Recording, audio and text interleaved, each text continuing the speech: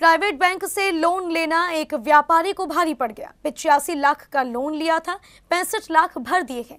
एक करोड़ की अब मांग की जा रही है। फ़िलहाल नज़र संपत्ति पर है। व्यापारी का कहना है कि आखिर कैसे उसे न्याय मिलेगा।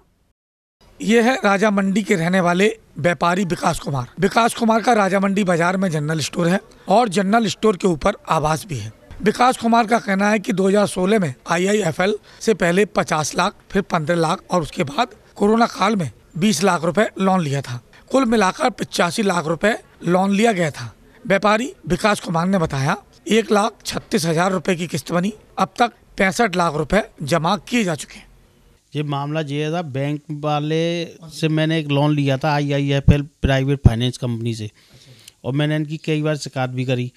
मगर मेरी मैंने लिया था सब टुकड़ों में ओले ओले करके एट्टी पिचासी लाख रुपए का। अच्छा, अब इसमें मैं पैंसठ लाख रुपए जमा कर चुका हूँ। अच्छा, मैंने इनसे पेपर मांगे इन्होंने मुझे पेपर भी नहीं दिए। लिख के कि हाँ मेरे दो प्रॉपर्टी के पेपर हैं। एक पेपर जो है इन्होंने लिख के दिए। हाँ मैंने दो प्रॉपर्टी के पेपर दिए थे। प्रॉपर्टी मेरी ढाई करोड़ रुपए की करीब है दोनों मिला के। हाँ और इन्होंने पेपरों के बारे में मैं लिख के नहीं दिया इसलिए मेरा लोन ट्रांसफ़र नहीं हो पाया। और जो मेरी अनाप शनाप ब्याज लगा रहे थे सवा लाख रुपए महीने की किस्त बता रहे थे और दूसरी जगह जी किस्त जो है पचास साठ हज़ार रुपये महीने जा रही थी। तो इसलिए मैंने इनकी किस्त देना बंद कर दिया। पहले किस्त दी थी आपने? हाँ मैं किस्त रेगुलर दे रहा था सोलह हज़ार से ले सो, सन सोलह में मैंने लोन लिया था और मैं बीस इक्कीस मैं सवा लाख रुपए महीने की किस्त देता था। कितना पैसा अब तक आपने दे दिया? अब तक मैं पैंसठ लाख रुपए करीब जमा कर चुका हूँ उसका स्टेटमेंट है मेरे पास।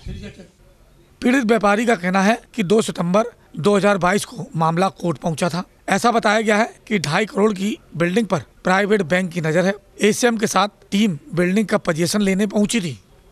इन्होंने प्रशासनिक अधिकारियों के यहाँ पे फ़ाइल लगा दी और प्रशासनिक अधिकारियों ने हमारी प्रॉपर्टी को जब्त करने के लिए पोजीशन करने के लिए आदेश दे दिया। कितनी संपत्ति आपकी? मेरी संपत्ति दो प्रॉपर्टी है। अड़सठ गज करीब ज़मीन है।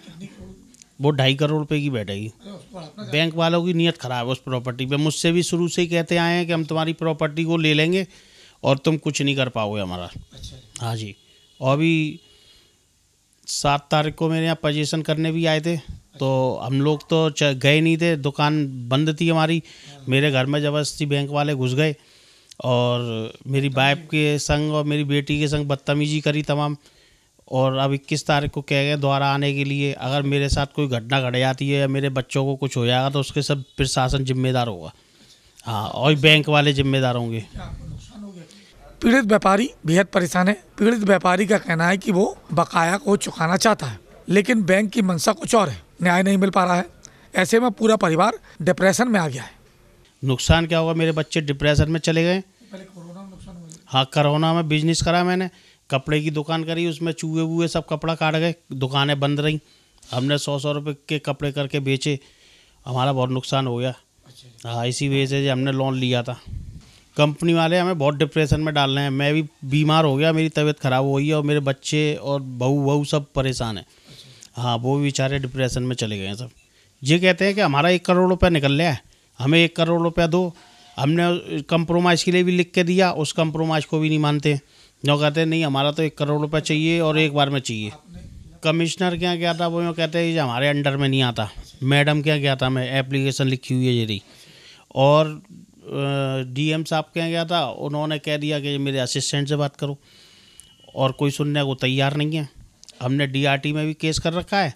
वहाँ पे ये बैंक वाले अपना रिप्लाई फ़ाइल नहीं करते हैं, जिससे कि ये कार्रवाई आगे चले। ये नाजायज तरीके से हमें परेशान कर रहे हैं। आईआईएफएल प्राइवेट बैंक है। पीड़ित व्यापारी कहता है कि व्यापार बचाने के लिए लोन लिया था, लेकिन उससे बड़ी मुसीबत गले लग गई। लेकिन सवाल ये भी उठता है, क्या व्यापारी की बात में दम है? ऐसा भी हो सकता है, इस मामले में कुछ जानकारी को छुपाया गया हो। बहरहाल, जो भी हो, इस मामले ने पीड़ित व्यापारी के सामने कई सारी मुसीबत खड़ी कर दी है। परिवार के सामने मुसीबत खड़ी कर दी है। कोई ऐसा रास्ता निकालना होगा जिससे बैंक को भी राहत मिले और व्यापारी और व्यापारी के परिवार को भी राहत मिल सके। अपने बिज़नेस को सुधारने के लिए प्राइवेट बैंक लोन का ऑफ़र देती है। लेकिन कभी कभी ये लोन भारी पड़ जाता है। बिज़नेस को सुधारने के लिए लोन लिया जाता है। पहले से ही व्यापारी मुसीबत में चल रहा होता है। लोन लेने के बाद मुसीबत और अधिक बढ़ जाती है। आईआईएफएल से लोन लिया गया। पैंसठ लाख रुपए अदा भी कर दिए गए। लेकिन बैंक का लोन चुकने का नाम नहीं ले रहा है। बैंक के लोग चाहते हैं कि संपत्ति जब्त कर ली जाए। ऐसे में व्यापारी की हालत को आसानी से समझा जा सकता है। पूरा परिवार प्राइवेट बैंक की इस कार्रवाई से टेंशन में आ गया है, डिप्रेशन में आ गया है। समझ नहीं पा रहा है परिवार आखिर क्या कुछ किया जाए। हर दरवाजे पर प्रार्थना पत्र के माध्यम से दस्तक दी जा चुकी है, लेकिन कहीं से राहत की कोई उम्मीद दिखाई नहीं दे रही है। प्राइवेट बैंक के लोग आए दिन धमका रहे हैं।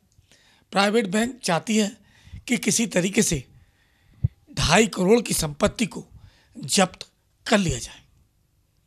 सवाल ये उठता है, आखिर व्यापारी विकास कुमार कहाँ जाए? कहाँ पर न्याय की गुहार लगाएँ? कैसे अपने परिवार को बचाएँ? कैसे अपने बिज़नेस को बचाएँ? अपने साथी दुबे के साथ राकेश खनौजिया सी न्यूज़ आगरा।